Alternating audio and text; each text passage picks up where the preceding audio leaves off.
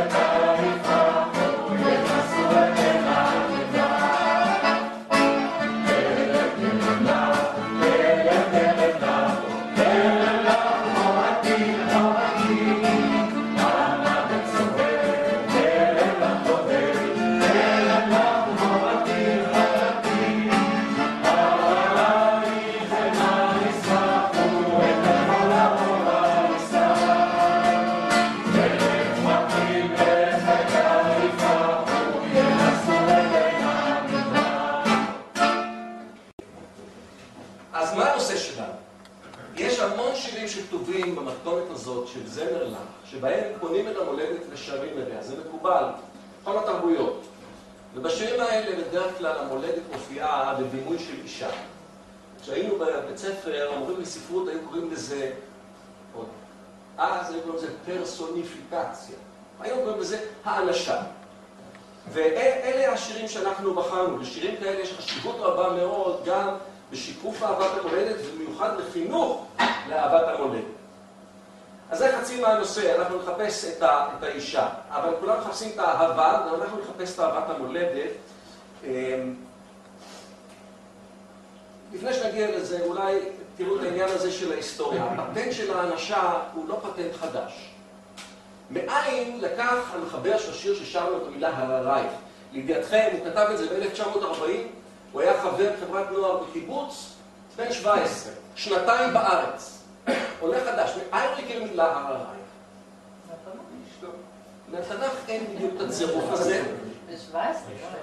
אשתו זה מעניין, זה מעניין, עוד מעט נראה, הערים האלה, נפגוש אותם, אבל אני חושב שהוא לקח את זה משיר קודם. שיר שמתחרז במילה הררייך, ויש שם גם שירייך, ויש שם גם עברייך, יש גם... בדיוק, צילון, בדיוק, זה השיר. ושם טל חרמון ונחשף נרדתם על הררייך. ומכאן גם לקחו את כינור לשירייך, כן? זה מאוד מאוד... אז ככה, בערך 900 שנה לפני זמר לך היה יהודה הלוי שכתב את הדבר הזה, וכנראה שמשם זה לקוח הדימוי של ציון כאישה. אבל גם רבי יהודה הלוי לקח את זה ממקור קודם. מאין? מהתנ"ך. למשל, יש כמה, בדיוק. ישעיהו. ישעיהו, ידעת אבל... זה כתוב. וגם לזה יש מנגינה, אבל לא, לא, לא ניקח את הזמן לשיר אותה. הדימוי של אישה שלובשת בגדים, יכולה לקום, לשבת, כל זה כתוב פה. אז האנשה זה פטנט, פטנט מוכר. עכשיו לעניין אהבת המולדת, שזה החלק השני של הנושא שלנו, אז כדי שלא תחשבו שהנושא הוא נושא כאן ערך, רציתי לשאול אתכם, האם המושג אהבת המולדת מופיע בקוד האתי של צה"ל?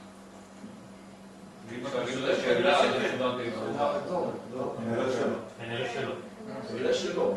אז חיפשתי ומצאתי שזה קיים, זה באינטרנט, מופיע תחת רוח צה"ל, אבל יש פה סיפור, אתם צודקים. הסיפור הוא שמינו את פרופסור אסא כשר לפני יותר מעשר שנים לעמוד בראש צוות ששכתב את הקוד האתי של צה"ל, אז הוא מחק את המושג הזה, אהבת המולדת. ושאלו אותו, מה אתה אומר? לא. אז שאלו אותו, מה פשר המחיקה הזאת? והוא נתן הסבר הגיוני. הוא אמר, הקוד האתי של צה"ל מתאר את ההתנהגות של החייל. אבל אהבת המולדת, אהבה זה רגש. אי אפשר לתאר רגש בקוד אתי. אז קצין חינוך ראשי התערב, ואמר שהתנהגות החייל צריכה להיות בהתאם לרגש הזה, והשאירו את זה כמו שאנחנו שיר, אוהבים אותך. אוהבים אותך מולדת.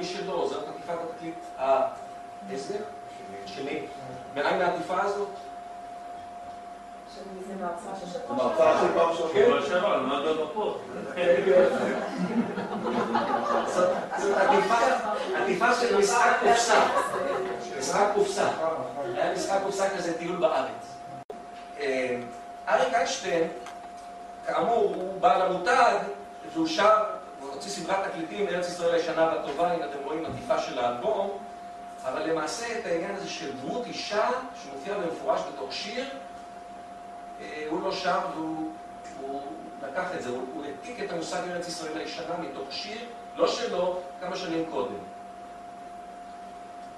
אה, ניתן לכם רמזים, ארץ ישראל האבודה והנשכחת, היפהפייה והנשכחת, להבון. והיא הושיטה את ידה, מה זה? מי כתב? מי כתבה? לא. לא נעמי שם. לא בשם. אוקיי.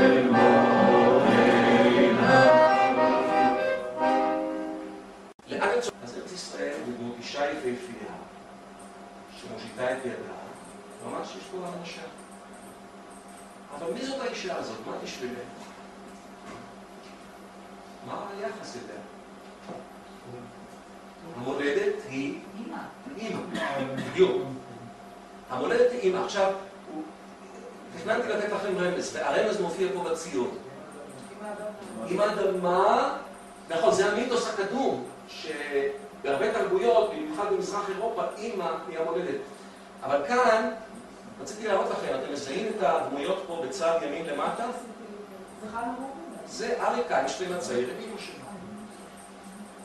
ה- המושג הזה של ארץ ישראל הישנה והטובה, טטקובר ייצר את עטיפת התקליט והוא שם תמונות מהאלבום של אריק איינשטיין עם- עם דמות האם, ממש. ועכשיו כבר עניתם על השאלה, מה מקור הדימוי הזה? עם האדמה, אבל יותר ספציפית, בכל המדינות של מזרח אירופה מקובל לדבר על אימא, אימא, למשל, אה, זאת, זה פסל בגובה של, אה, לא זוכר כמה, הוא כאילו התשובה ל Miss Liberty, וקוראים לו אימא, נו, אימא רוסיה. בסטלינגרד בנו את הפסל הזה לזכר הקרב. ואני בעצמי צילמתי בגרוזיה את אימא גרוזיה, שנמצאת על הר מעל הבירה טיביליסי. בכל המדינות האלה של מזרח אירופה יש דמות אם, בדרך כלל עם נשק שמגינה ושומרת, אימא המולדת. וכל האנשים שהיו חלוצים ובאו ממזרח אירופה, הם הביאו משם את התפיסה הזאת שהמולדת היא אימא. ובמיוחד חשוב להזכיר את השיר הזה, אתם מכירים? אם, אתם מכירים זה טוב, אם לא, חייבים להכיר לכם. זה השיר הראשון שכתב יעקב אורן. בהיותו בן 16, חניך תנועת הנוער העובד בירושלים, הוא כתב את המילים, והוא הראה אותם לחברים. החברים שרו את זה עם מנגינה של שיר גלותי ביידיש, אז המלחין דוד זהבי שפגש את החבר'ה האלה בקיבוץ נען אמר, לא יכול להיות שיר עברי על אימא מולדת עם מנגינה כזאת גלותית, והלך וכתב לזה מנגינה. איזה מין מנגינה יצא לנו לדעתכם?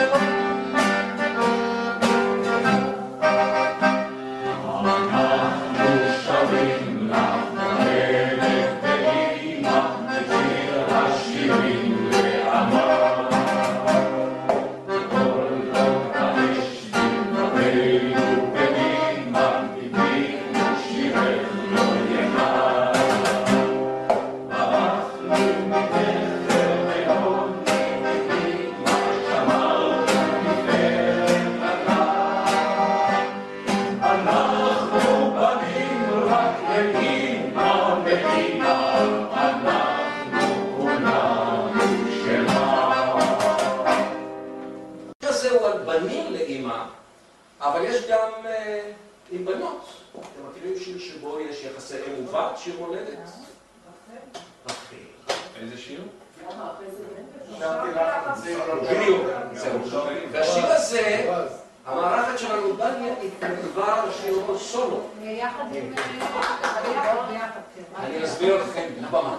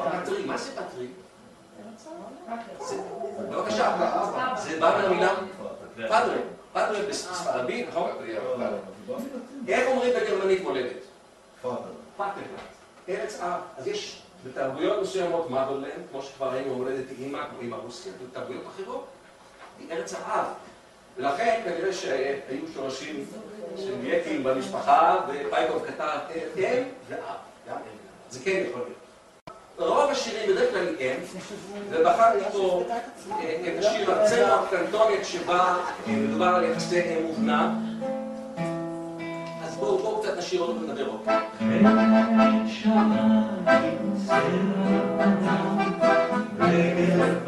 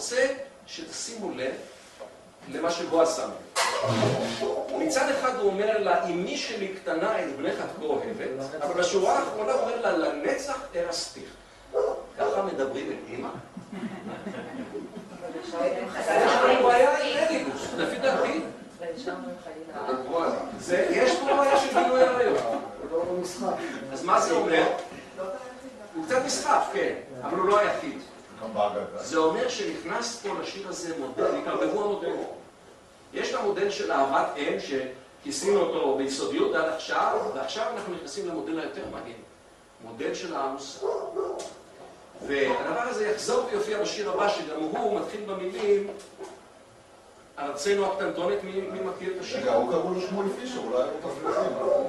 הוא אידיאל, עוד בדיוק. השיר עוד לא תמו קודליים.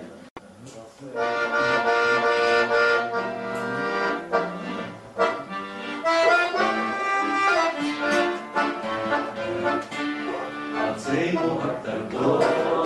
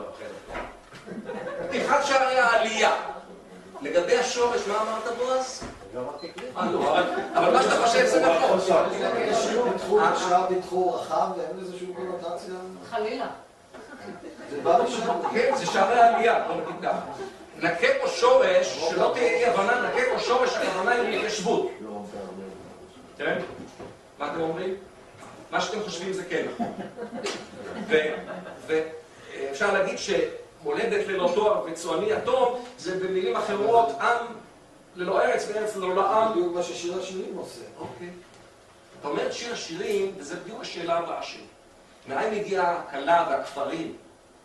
יש פה בוודאי, לירון תלב, בבית השני נביא בגדנו דרך הכפרים והעדרים, זה בא משיר השירים. עכשיו, מה הקשר בין שיר השירים לציונות?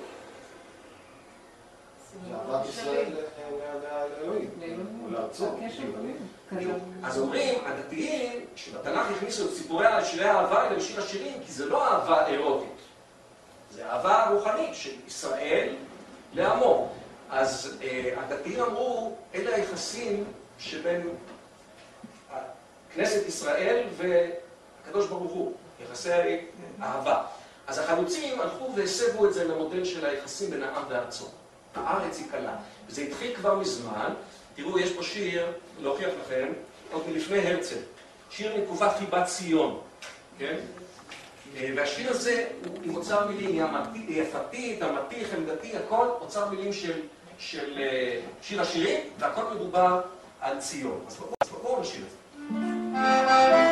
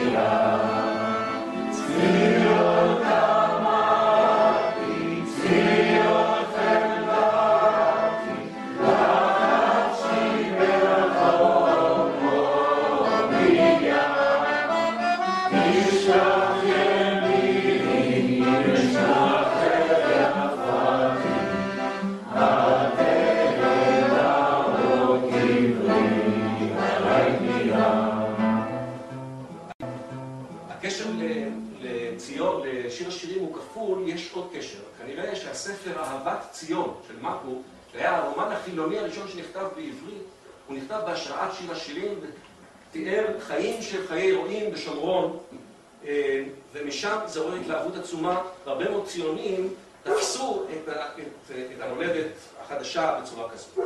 עכשיו, בואו רק נסתכל ונראה מה קורה כשמודל הכלה היפהפייה או בת הזוג אה, מתמזג עם הלהט החלוצי כזה של בטון ומלט. אז יש שיר ככה כך, שדרך אגב הוא מזכיר לי את השיר של אה, שלום חנוך, יש לו שיר ככה וככה, אחרי שבועיים שלא נפגשנו אני רוצה אותך ככה וככה. שימו לב.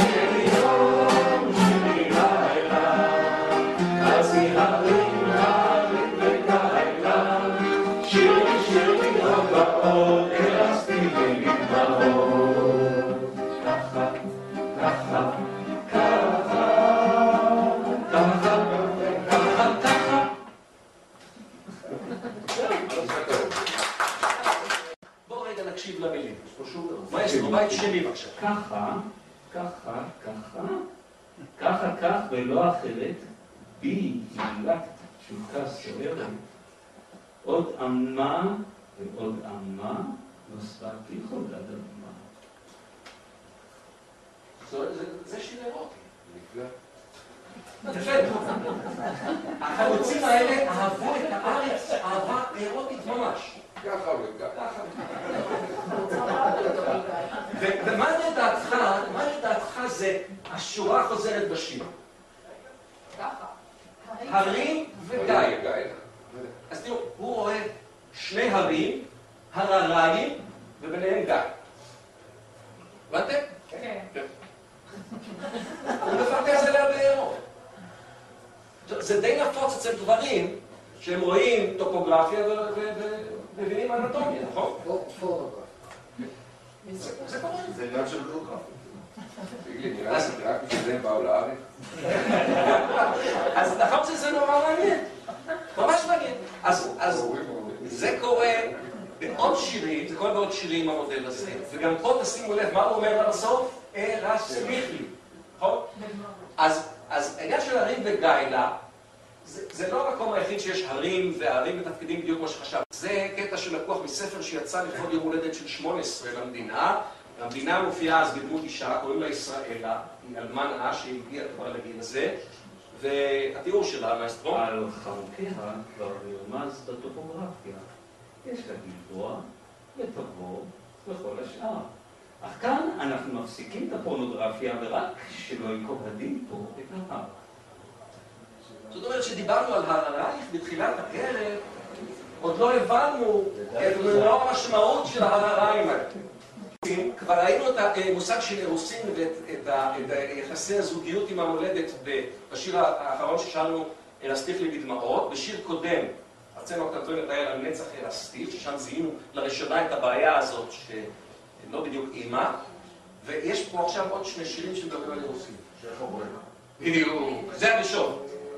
אלסטיך לי לדם זה משך הברק. ועוד אחד, אלסטיך לי לעולם, שניתן לכם קצת זמן לחשוב אם אתם מכירים אותו. נתחיל משך הברק. מישהו רוצה לשיר את זה סולו? זה קצר. יואל. הוא שקוע במחשבות.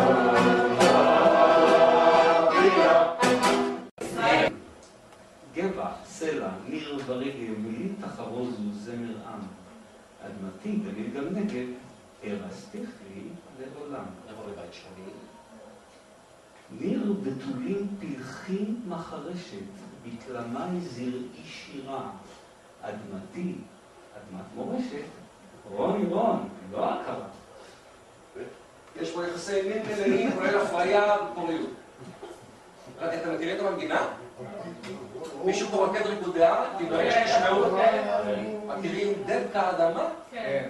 זהו זה. Thank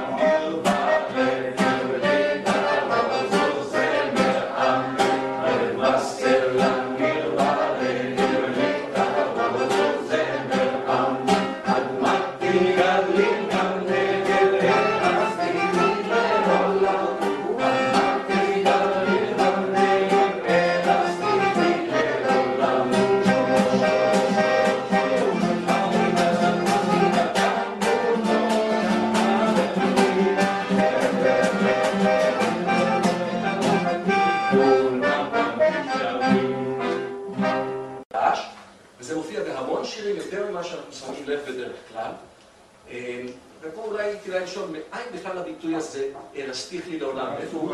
השירים. לא שיר השירים, אבל...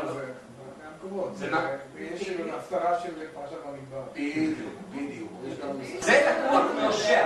עכשיו, הושע זה מעניין, אתם יודעים שהוא בגיאוגרפיה שלו ניסה לתאר את טיב היחסים שלו. אז הושע לקח לו אישה זונה. בסוף, כשהיא חוזרת אליו, אז יש את הנבואה הזאת החיובית שהוא אומר לה, ויסתיך לי בצדק ומשפט, ויסתיך לי לעולם.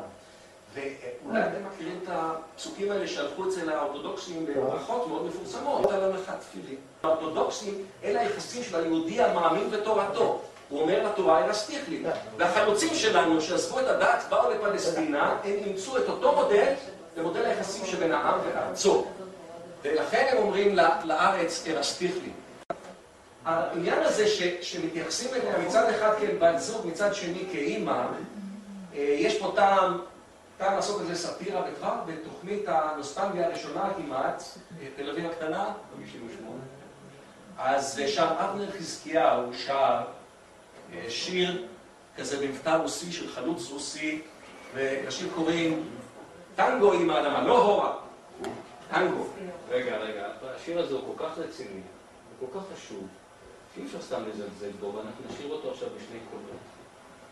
ככה, לא הפזמון, השורה האחרונה של כל בית זה... זה טנגו.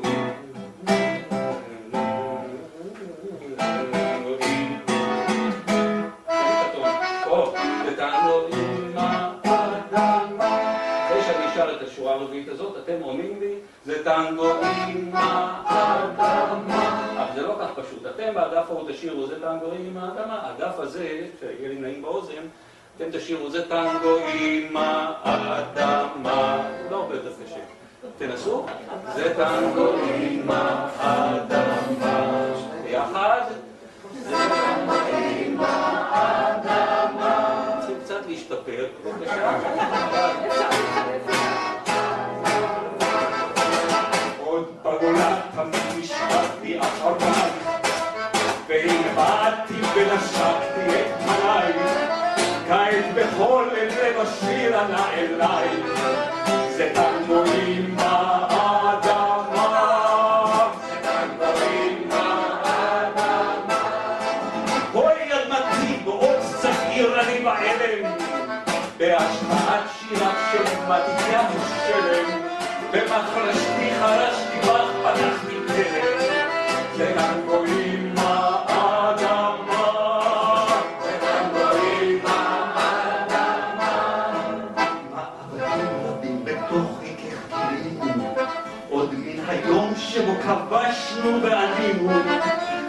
היום הזה שירך אותך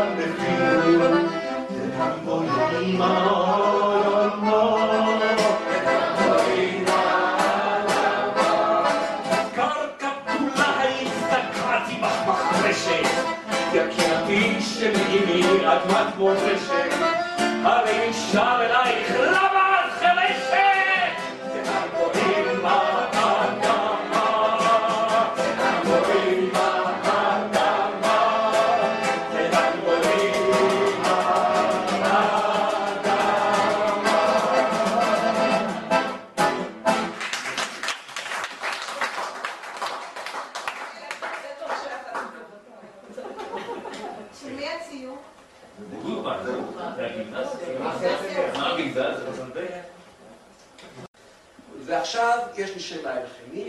ארוסה ומקודשת, כמו שאת אומרת, כבר אחרי החתונה, כבר הכל מותר, ועכשיו הגיע הזמן להתייחדות. אז תסלחו לי שאני קצת נכנס לפרטים טכנולוגיים, אבל איך עושים את זה? איך מבצעים, איך מוציאים לפועל את ה... מה? זה לא רק. לא, זה כבר ראינו בעצם, פתח אותי בזה. דקה גדולה.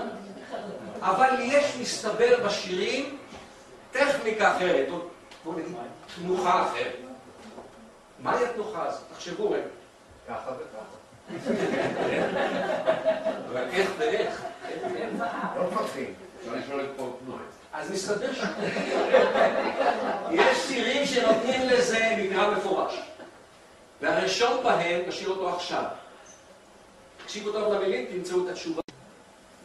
אז אם כך, השיטה לעשות את זה היא ללכת רצוי יחף על הארץ. ויש עוד הרבה מאוד שירים שבהם מימוש האהבה, יש לזה עוד יש. חימוכים. כן. ודאי. לא, סיפורי פורים זוכרים? סיפור המכולת, אתם זוכרים? הסיפור שמוביל לקראת שיר המכולת, אתם זוכרים? היא נתנה לו. הוא שכב על אם הדרך והיא נתנה לו. בואו נסתכל על השיר הזה, מאוד מוכר. בואו נקרא את המילים. קום והתהלך בארץ ותרמילו במקל, תפגוש את ארץ ישראל, ועכשיו, יחבקו אותך דרכיה, זאת אומרת, כשאתה הולך בדרכיה, הם יחבקו אותך. היא תקרא אותך אליה כמו אל ארץ אהבה. זאת אומרת, כדי לעשות איתה אהבה צריך ללכת איתה בדרכים. אז קודם כל בואו נשאיר את זה.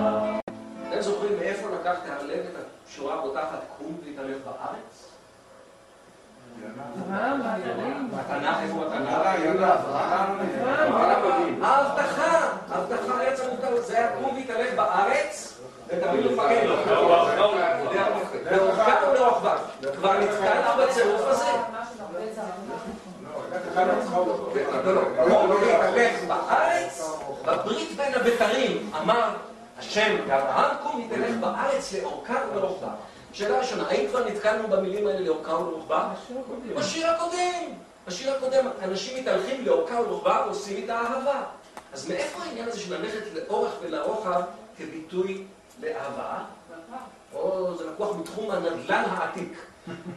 בימי קדם שאדם היה קונה מדרש, הוא היה הולך אותו לרוחב ולאורך, והטקס הזה היה סימן לבעלות, או אם תרצו, לבעילה. ומפה זה בא. אה, כן. אם אנחנו מסתכלים בתמונה הזאת, אז הייתי מכנה אותה שהקבוצה הזאת צולמה בעיצומה של האורגיה. לא? כן. זה לא סתם קבוצה. תשמע, כמו בכל האורגיה, אמרנו את זה, עייפים אחרי זה מצעדת ירושלים 1967. תראו, הם מממשים, כיבוש הארץ, גם יש לו משמעות של כיבוש מיני, וראינו את זה עכשיו בשירים, יש עוד המון שירים, כמו אנו הולכים ברגל, הופה היי, את שפע אבקך נאהב בשתי רגלינו. כן, יש עוד ועוד שירים שבהם ההליכה היא המימוש של אהבת הארץ, המימוש של ידיעת הארץ, עם כפל המשמעויות הזה. אמ, בסדר. עכשיו, לא, לא, לא תאמינו, אבל שירים כאלה נכתבים עד היום. עד היום. זה דוד דאור, הוא הוציא שיר לפני שנה וחצי, בחורף של השנה שעברה, והשיר הזה הפך תוך שישה חודשים לאחד משירי מלחמת לבנון. עכשיו תראו, השיר הזה, כשקוראים טוב את המילים, מתברר שהוא לא שיר אהבה לאישה, הוא שיר אהבת מולדת, וגם כאן דרכיה של המולדת אה, משחקות תפקיד, אז במקום הליכה ברגל כבר פה יש נסיעה. כן? ותראו, הוא שר פה, אין לנו מקום אחר, זה בטוח שמדובר פה על שיר מולדת. תקשיבו טוב למילים.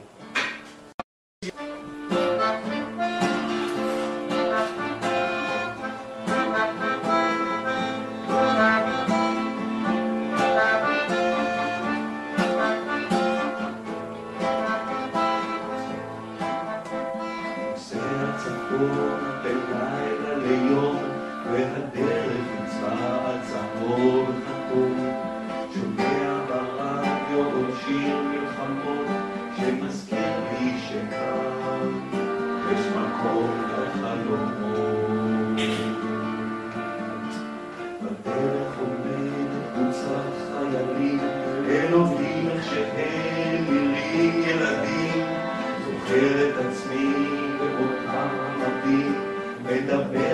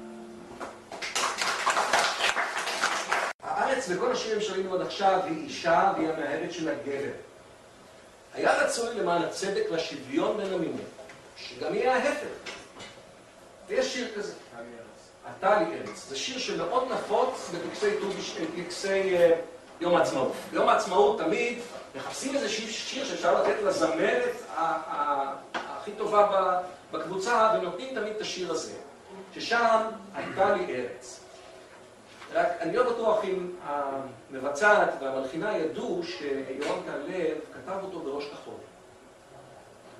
אמ, הוא העיד בפני קהל, אתם שמעתם? שהשיר הזה הוא בעצם שיר אירוטי. בכלל לא שיר מולדת, בכלל לא שיר, הוא רק מוסווה בתור שיר לאומי. למעשה זה שיר אירוטי, והוא עוסק בטכניקה של תשמיש המיטה. כל המודלים הפיזיים פה אלה דימויים לגוף הגבר, והיא מסבירה לו איך לגלות ביחד את הארץ. לגלות ביחד את הארץ זה לשון נקייה לסיים ביחד. והנקודה המרכזית היא שהיא צריכה עוד זמן, היא צריכה עזרה. אז לא תמיד טוב להבין מה שהתכוון המשורר, אבל עכשיו כשנשאיר את זה, אז אה, אתם תגלו הרבה סמלים מוכרים, וכל העניין לגמרי לגמרי מובן, זה כן מה שאתם חושבים. למה לא, כן?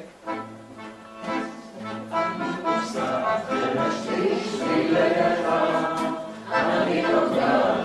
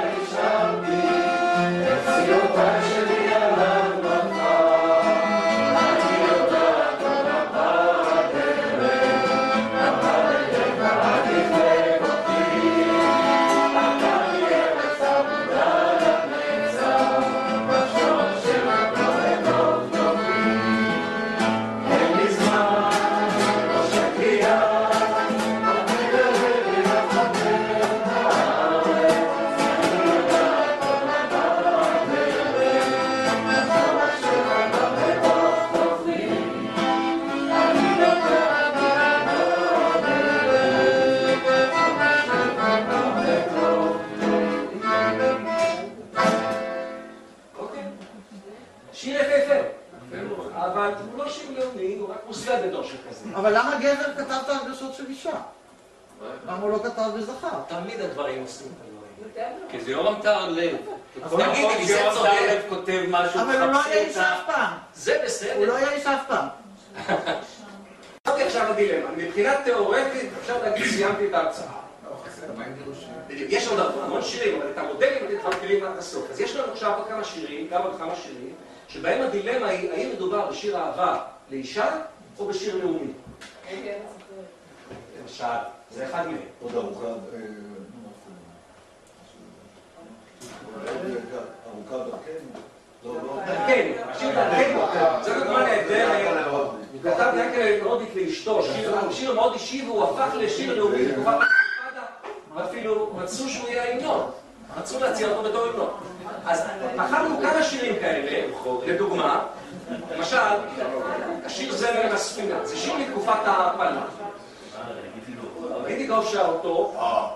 עכשיו, ברור שהאישה כאן היא דמות סמלית, כי תראו, מדובר על שקיעה בים, ויש ספינה בים, השקיעה במערב, ומנגד, זאת אומרת, במזרח ניצבת דמות אישה. גם, שם לא בטוח, אבל האישה שבחוף, בהרבה משירי הים, יש לנו גם תוכנית ים, הרבה מאוד משירי הים, יש אישה בחוף, והיא מסמלת הרבה פעמים את המולדת. אבל פה בפירוש האחות, שיש כיסופים אליה בשיר, זה כיסופי מולדת.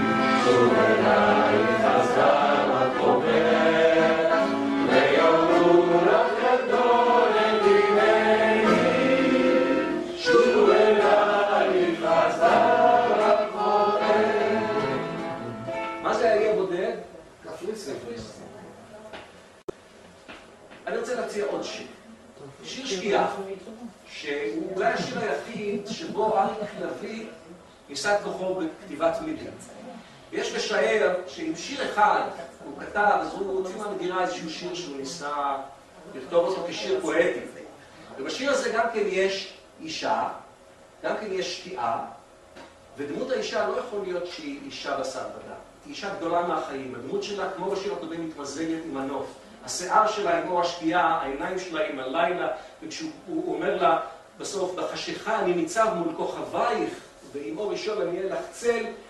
אני חושב שמדובר פה, שוב, באישה שמסמלת אולי את הישראליות, והסיבה היא שיש בשיר יותר מדי מוטיבים חשובים כמו עלילת הטן, והשמש, והבוסתנים. כל הגורמים האלה הם מאפיינים מאוד בולטים של שירים שמנסים אה, לתת לנו סמלים של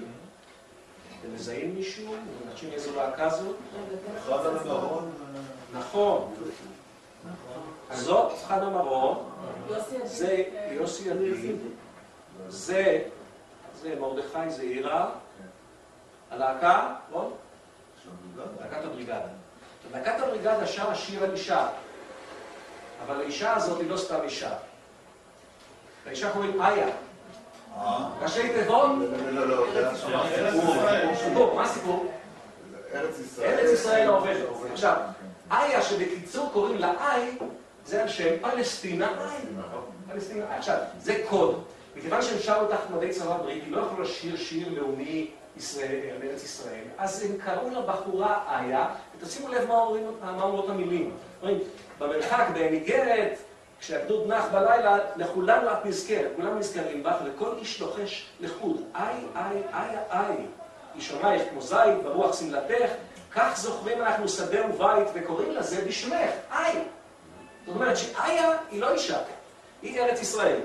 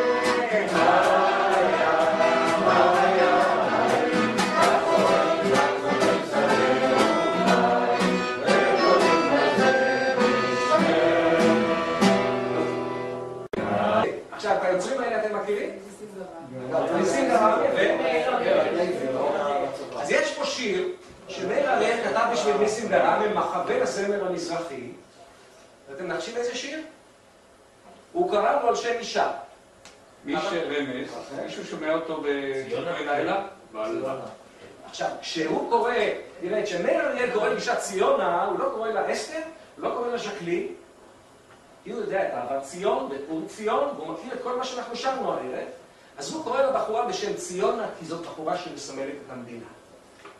ואת תכונותיה. היא בחורה קצת פזיזה, קצת פרחה, טיפה לבנטינית.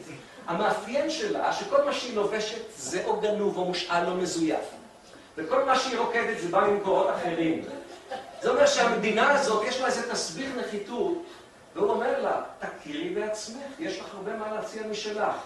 ובמיוחד הוא אומר לה, אני שלך. אז בואו נשאיר את זה מתוך ההבנה מה התכוון המשורר. יש לזה פתיחה חמודה של תסמות אלה.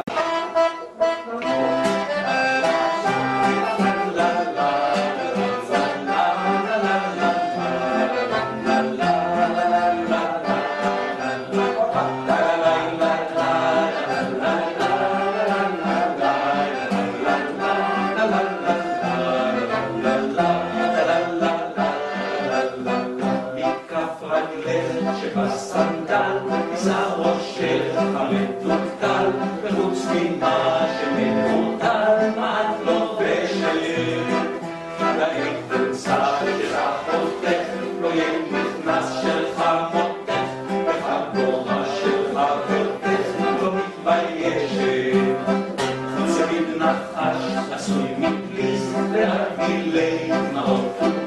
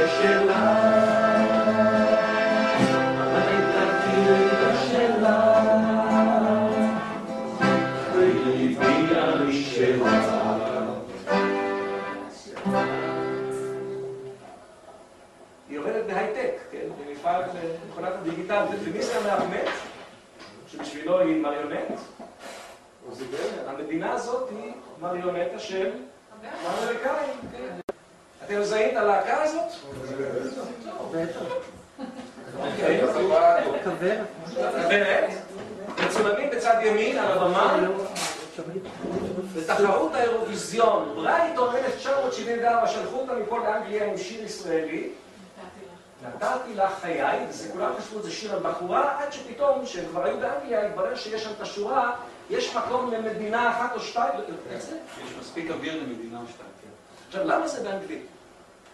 אה. וכל כל מי שנסע אי פעם לאירוויזיון הקליט את השיר שלו גם באנגלית כדי להתפרסם באירופה, כי אז ודאי היינו חייבים לשיר בשפת המולדת. אז הפינים שרו בפינית, הנורבגים בנורבגית והישראלים בעברית, ודני סנדרסון, שיש לו רקע של חיים באמריקה, והוא יודע אנגלית, תרגם את השיר הזה, כתב אותו בעצם מחדש באנגלית, והוא קרא לזה, כמו שכתוב למעלה בעטיפת התקליט, in the eye. Morris and the Turtle, by the way, זה התרגום של המגפיים של ברוך.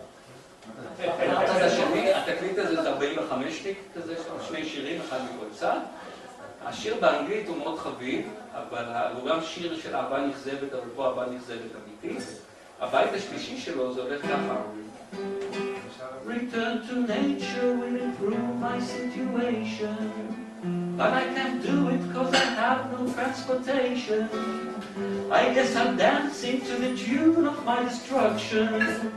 While she refuses taking part in her seduction With our future in the past Our relations cannot last. She gets cold, I get old That's the way it goes. She looked me in the eye, I looked her in the nose. Now I can't tell you why I can't get through her clothes, and it's a problem. זה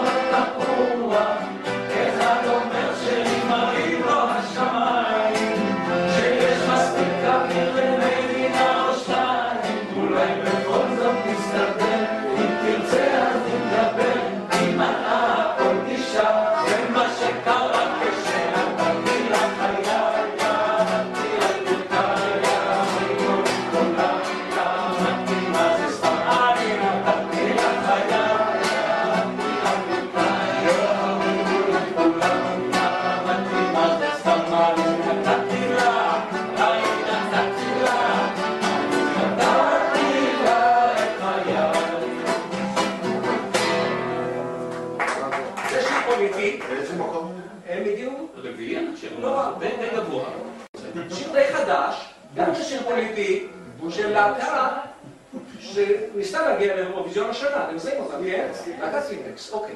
השיר הזה, הם הוציאו אותו בשנת 2000 בתגובה לתחילת האינתיפאדה. ומדובר פה על בחורה שנוסעת בג'יפ ממוזג ולא שמה לב למה שקורה מסביב. אה, אין ספק, לפי כל הרמזים שיש בשיר, ואתם כבר מכירים את קובי עוז עם הרמזים הפוליטיים בכל השירים שלו, כבר אז, מעטים שמו לב, אבל זה לא שיר על בחורה. זה, הבחורה בשיר מייצגת את החברה הישראלית, או חלק מהחברה הישראלית שיושב בתוך הבועה שלה, האליטה או משהו כזה, ומה שקורה היום, השיר הזה אקטואלי בדיוק כמו שהוא היה כשהוא יצא. בואו נשאיר